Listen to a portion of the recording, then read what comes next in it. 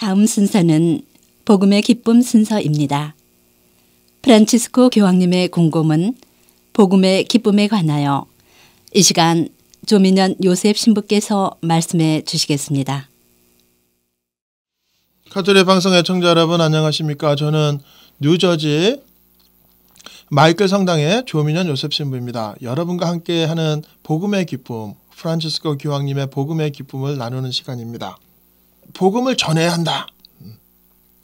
성교를 제일 중요하게 여겨야 한다. 그리고 복음을 전하는 게 어렵고 힘들고 고통스럽고 아프지만 결국은 복음의 기쁨이 있다. 예? 그런데 복음을 전하기 위해서는 어떻게 해야 되느냐? 세상의 매스미디어를 떠날 수는 없다. 매스미디어, 매스미디어를 빼놓고 우리가 어떻게 복음을 전하겠느냐, 선교를 하겠느냐. 그렇기 때문에 카톨릭 방송이 너무나도 중요한 거다라는 이야기입니다. 그리고 복음이 아무리 아름답고 중요하고 진리라고 하지만 세상 사람들이 그냥 저절로 이해하는 건 아니다. 모든 사람들이 다 이해할 수 있는 그런 복음의 말씀을 전하라는 건 쉬운 게 아니다라는 겁니다.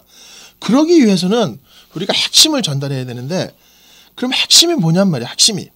우리가 복음을 전달하려고 하는 핵심이 뭐냐? 그것은 바로 하나님의 구원의 사랑이 죽으시고 부활하신 그리스도를 통해서 드러났다는 것을 가장 아름답고 분명하게 알려야 한다는 겁니다. 하느님 구원의 사랑이 바로 죽으시고 부활하신 예수 그리스도님을 통해서 드러났음을 가장 분명하고 가장 아름답게 알려야 한다는 겁니다. 천주교에서는 우리는 진리도 등급이 있다 그래요. 그래서 hierarchy of truth. 토마스 카이너스 성인께서 말씀하신 건데 진리에도 이렇게 피라미처럼 단계와 등급이 있는 거죠. 그래서 갈라디아서 5장 6절에서 말씀하신 것처럼 가장 중요한 진리는 뭐냐 하면은 사랑을 통해서 드러나는 신앙이다. 예. 사랑을 통해서 드러나는 신앙이 가장 중요한 진리라는 게 사랑을 통해서 드러나는 신앙. 사랑과 신앙은 결국 다른 게 아니에요. 예. 사랑을 통해서 드러나는 신앙. 그래서 하나님의 구원이 하나님의 구원의 사랑이 죽으시고 부활하신 예수 그리스도님을 통해서 드러났다는 것은 바로 사랑을 통해 드러나는 신앙입니다. 그래서 가장 중요한 진리가 뭐냐? 예수 그리스도께서 주시는 이 새 법은 허, 헌법이 아니라 이 새 법은 사랑을 통해 드러나는 신앙으로 나타나는 성령님의 은총이라는 거예요. 성령님의 은총.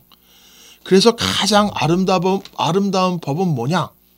가장 아름다운 법은 바로 자비라는 겁니다. 자비. 세상의 모든 다른 덕목들, 덕목들이 얼마나 많아요? 우리 우리가 얼마나 덕목이 많습니까?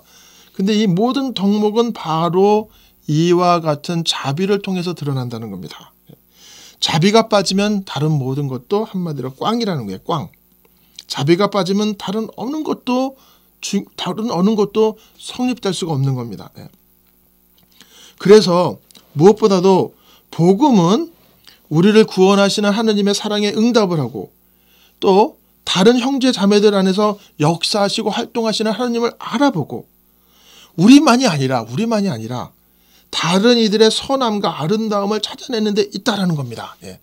우리 천주교에서만이 아니라 다른 이들, 다른 형제 자매들, 심지어는 우리하고 종교가 다를지라도 다른 형제 자매들 안에서도 활동하시는 하느님의 아름다우심을 찾아내야 된다는 거예요. 그래서 우리 교황님께서 얼마나 자주 유태인들을 만나고 이슬람인들을 만나고 타종교인들을 만나고 다른 형제 자매들 속에서도 역사하시는 하느님의 아름다움과 사랑을 발견해야 된다는 것이 바로 교황님의 말씀입니다. 참 혁신적이고 혁명적인 말씀이세요. 예. 교회 그 자체는 성교를 해 나가는 제자들의 단체라는 거예요. 제자들의 단체. 그래서 신학자들은 교회의 판단이 점점 성숙해지도록 이끄는 것이고 과학자들은 새로운 과학의 방법으로 우리 교회를 돕는 거야. 하나님을 현실 안에서 세상 안에서 찾아낼 수 있도록 돕는 겁니다. 그래서 사회 과학도 우리 교회의 가르침이 사회 안에서 문화 안에서 구체적으로 적용될 수 있도록 교회에 도움을 주는 거예요.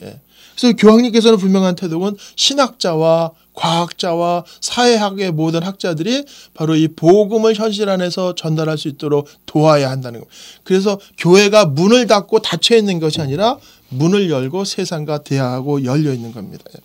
그런 면에서 또 굉장히 중요한 말씀은 교회 수많은 이슈들은 자유로움을 갖고 공부하고 토론되어져야 한다. 예. 어떤 주제는 토론하면 안 된다. 어떤 주제는 논쟁의 여지가 안 된다. 어떤 어떤 주제는 논쟁할 수 없어 이미 정해진 거야. 라는 게 아니라 교회의 수많은 이슈들은 자유로움을 갖고 공부하고 토론되어져야 한다.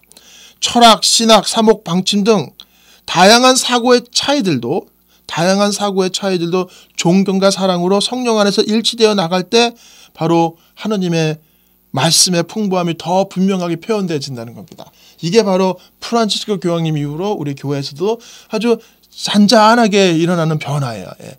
더 이상 예, 어떤 금기사, 금기시된 어떤 신학적인 어, 사목 방침이나 철학이나 신학의 사목 방침이 아니라 이런 다양한 사고들이 열려서 존경하고 사랑하고 성령 안에서 일치되어 나가서 토론하고 나누어질 때 오히려 하나님의 말씀이 더 분명하고 풍부롭게 표현되어진다는 겁니다. 예.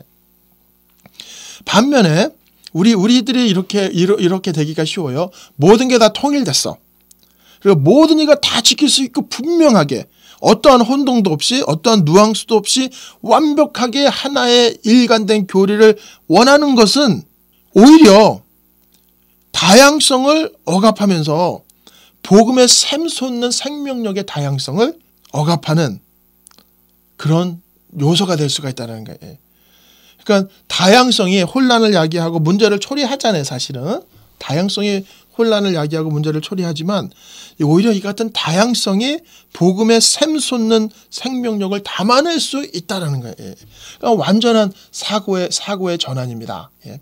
그래서 모든 게 통일되고 모든 게 일치되고 모든 것이 분명하는 어떠한 혼란도 없고 어떠한 누앙스도 없는 완벽히 하나된 일관된 교리를 주장하는 게 아니라 오히려 혼란을 야기하고 문제를 일으킬 것 같아 보이지만 이런 다양성을 존중하고 사랑으로 일치하는 것이 바로 오히려 복음의 샘솟는 생명력을 드러내고 발전시키는 성장시키는 요소가 된다는 겁니다. 예.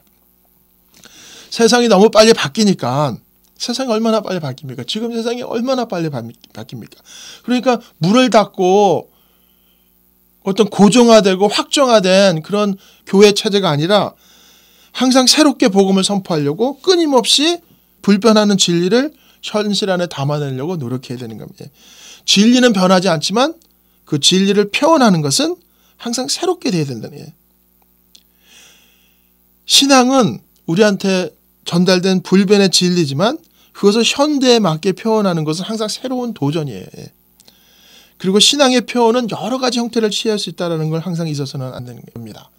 그래서 이, 이 복음의 기쁨을 다루시는 그 교황님의 입장과 태도는 너무너무 분명한 것 같아요. 다양성을 존중하고 사랑과 일치 속에서 서로 성령 안에서 일치하는 그런 어, 대화하는 오히려 다른 형제 자매들 속에서 역사하시는 하나님의 아름다움을 발견하는 이렇게 열려 있는 교회의 모습을 원하시는 게 바로 교황님의 복음의 기쁨이 아닌가라고 생각합니다. 여러분들 이 복음의 기쁨이 여러분들의 영성과 신앙에 여러분의 신앙에 새롭게 도전하고 새롭게 변화하고 성장할 수 있는 그런 은혜로운 기회가 되시기를 간절히 바랍니다. 여러분 안녕히 계십시오.